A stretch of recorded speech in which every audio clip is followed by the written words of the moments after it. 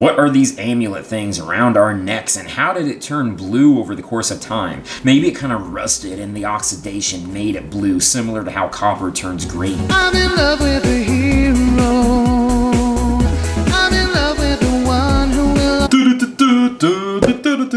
Hello, Masters Universe Classics fans! I have Beastman, but not just any Beastman. I have the PowerCon exclusive Beastman. How is that different? Well, look at him. He's all red. He's so red that he's Savage Blood Red Henchman. Major shout out to my buddy Nick. Nick, thank you for getting me this figure. It is a bit more difficult to get the PowerCon exclusives unless you attend the convention or if you go through a third-party vendor. Since it is a PowerCon exclusive, the back is slightly different. In this case, we only have Beastman and a small bio for him. Look at this image here. This is really cool. This is from the original mini comics where it showed Beastman being much more savage looking. The bio on the back reads, real name, Raquil Quaz, Raquaz? Let's go with that.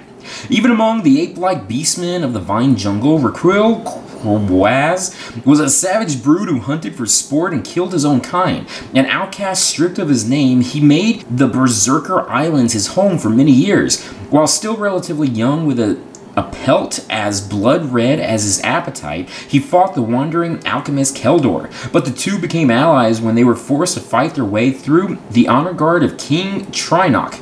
Out of fear, Beastman swore allegiance to Keldor and remained both fearful and loyal to him when he became Skeletor. Over time, Beastman's fur became orange, but his savage bloodlust never diminished. His terrible fangs and ferocious claws made him a powerful adversary for the Masters of the Universe. So that's kind of cool if you think about it. He was originally all red like this, but he became more orange as time went on. So that's enough about the packaging. This guy is so incredibly cool. Let me open him up. And here is Requill. Close up, you can see that he really is all red. There really isn't a whole lot of shading put in there. Although the amulet on his chest is still there, and I'm glad that they did differentiate that from the rest of his fur armor. And on one of his fists, he does have that spike thingy attached to it. Beastman's weapon of choice, or at least the toy version Beastman's weapon of choice, is the whip. A close-up of it, you can see that it's all red as well. And it's also quite bendable. Close-up of his face, that is pretty darn scary. I mean, damn, look at that. Besides the armor around his neck, he also comes with removable armor on his arms. And you can see he's got the whole spiky look thing going on. These aren't super sharp or anything like that, but the plastic is fairly hard. Oh my god, look at them furry ass feet and those sharp ass claws. A close-up of his fingers, you can see the claws here are slightly darker as well. He's got the furry arms, and I like the idea that he has shackles around his wrists. It gives the idea that he's not only a minion of Skeletor, but he's also his number one servant,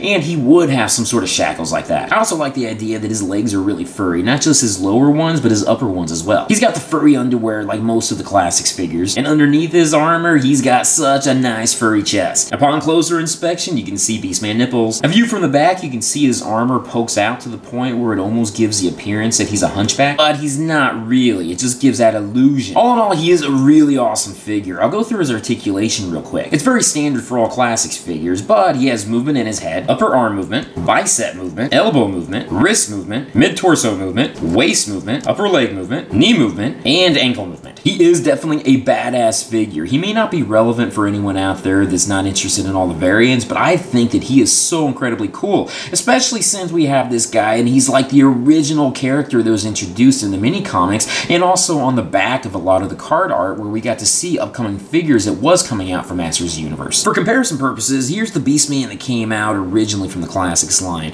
As you can tell, they're pretty much identical with the exception of their paint app. I want to point out that Camo Kobra Khan also came out during 2016's PowerCon with Beastman, but I can only afford one of the two figures, so I ended up getting Kobra Khan. End result, very cool figure. Nick, thank you so much for getting me this guy. I'm going to be giving him a great home. If you're interested in getting him, like I said, you can probably only get him through third-party vendors like Amazon or eBay, but you shouldn't have to pay too much for him, at least not from what I've seen.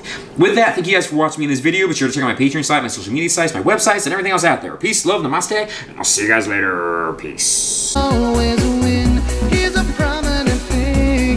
When I was just a young little pup, originally I thought Beastman was some sort of lava man. I think it was because he was all red. In the first image I saw of him, he was like on an open field where there's nothing but rock and lava coming out. So maybe that kind of added all to it.